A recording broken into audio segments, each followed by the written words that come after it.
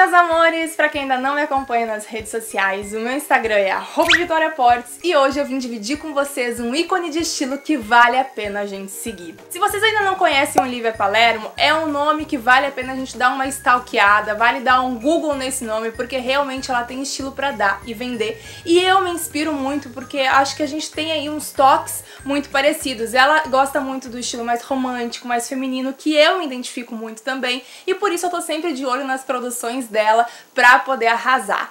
Gente, a Olivia ela ficou muito famosa depois de uma série onde ela foi protagonista que se chamava The City. Essa série mostrava o lado RP da época que ela trabalhava como RP em Nova York, mostrava os bastidores, tanto de marcas, de eventos, enfim, mostrava todo essa, esse lado off que a gente tanto ama e não demorou muito para essa série virar um sucesso absoluto.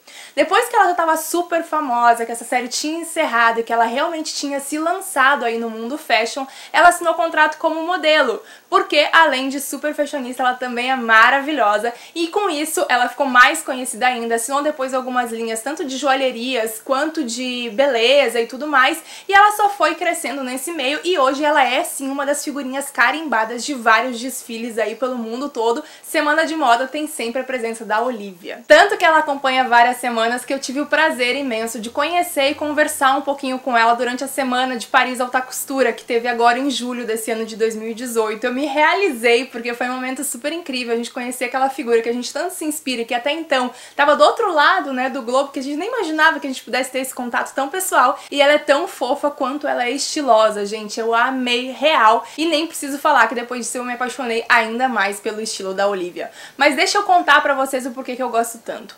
Ela é uma pessoa que eu acho que ela, ela realmente personifica esse estilo simples e elegante, sabe? De se vestir. E sempre agregando uma informação de moda de uma forma muito criativa. Os looks dela têm esse lado da alfaiataria muito forte, então é muito fácil a gente ver ela vestindo terninhos, vestindo conjuntos, calças mais estruturadas, mais retas e bem cortadas, pantalona, blazer, ela tem realmente essa característica, ela gosta desse tipo de peça. Mas o que eu acho muito legal é que mesmo indo por essa linha super sofisticada da alfaiataria, ela também não dispensa o jeans skinny. É super comum a gente ver aí fotos dela de street style realmente vestindo aquela calça de skinny bem retinha, real, com uma sapatilha, personificando novamente aí o simples e chique andando juntos. E eu acho que ela tem um truque muito legal que eu já analisei nas produções dela, que é toda vez que ela tá com jeans e ela tá de sapatilha, ela tá com uma blusa de tecido mais fino. Já foi uma dica que eu dei pra vocês em outros vídeos aqui do canal. Então ela traz esse, esse lado do jeans que é super casual, mas não de uma forma desdeixada,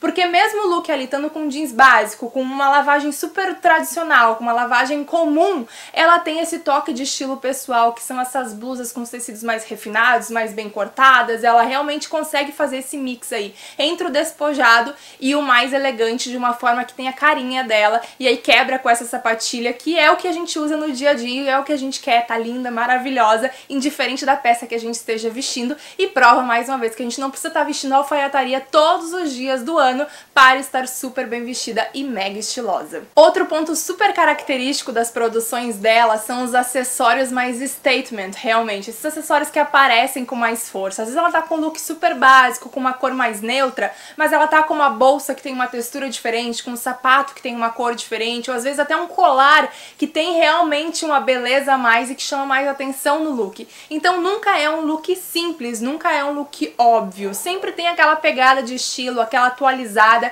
que não deixa essa produção ficar boring, que não deixa essa produção ficar chata. Então eu acho isso muito legal, porque realmente sempre tem aí uma pitada de estilo muito pessoal. Mas mesmo amando aí o jeans, que é mais clássico, as peças de alfaiataria mixando tudo isso, ela também utiliza muito das estampas e eu gosto bastante porque ela usa as estampas que eu me identifico mais, que são as estampas mais abstratas e mais geométricas. O floral dela nunca é aquele floral super clichê da florzinha super desenhada, é sempre um floral mais abstrato, um floral que traz um pouco mais de personalidade. Ela usa muito também as texturas nas produções produções, então ela gosta de investir em renda, em lese, em plumas, ela usa todos esses detalhes, essas texturas para enriquecer a produção e fazer com que realmente o look ganhe status de realmente uma produção muito mais bem pensada e muito mais bem planejada. Ela é aquela legítima pessoa que se dissessem, escolhe alguém para você poder trocar o closet, eu não pensaria duas vezes, porque dificilmente ela veste alguma coisa que eu não me identifique, que eu diga, ah, eu não usaria desse jeito, porque realmente as produções,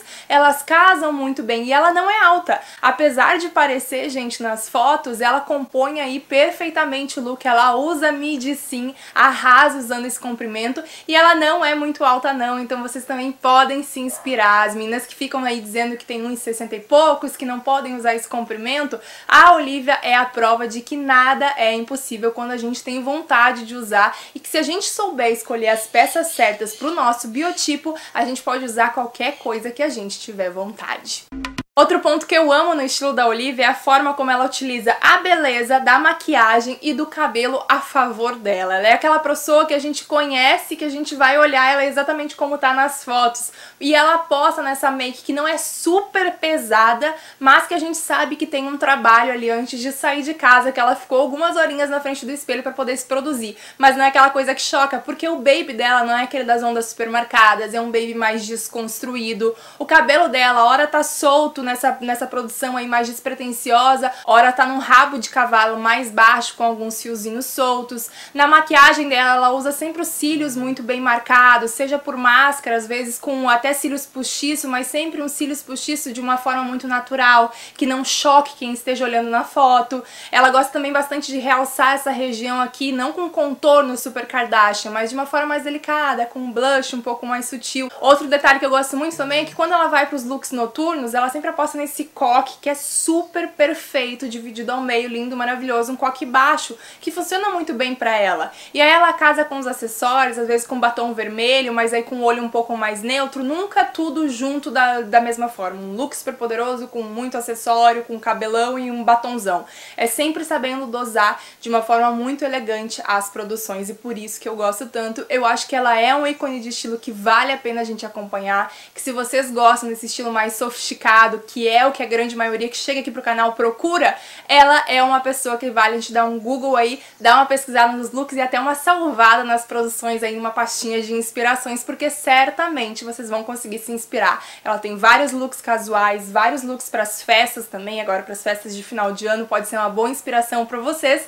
E é um ícone de estilo que eu faço gosto de dividir, porque depois que eu descobri que além de linda e super estilosa, ela também é mega querida, eu saio indicando mais do que nunca para todo mundo. Eu acho que é uma pessoa que vale a pena vocês conhecerem. Enfim, meus amores, eu espero muito que vocês tenham gostado desse vídeo. Foi sugestão de leitora, eu tô ouvindo todas as dúvidas de vocês, estou trazendo aqui pro canal. Vocês sempre me perguntam, desde que eu criei o canal e que eu tenho o Instagram, quem é a personalidade, a atriz, a blogueira, a influenciadora que me influencia e que eu me inspiro. E a Olivia é uma pessoa que tem características das produções, dos looks e do estilo dela que eu gostaria de ter no meu. Então é uma pessoa que eu tô sempre de olho, seja pesquisando, olhando, vendo insights, o street style, agora também vendo em desfiles, já que a gente tá fazendo essas coberturas mais internacionais também. É um prazer enorme cruzar com ela nas portas de desfile e é, é uma pessoa que realmente vale a pena a gente se inspirar. Espero muito que vocês tenham gostado desse tema. Se vocês quiserem que eu traga outras personalidades, de repente pode trazer uma mulher mais madura,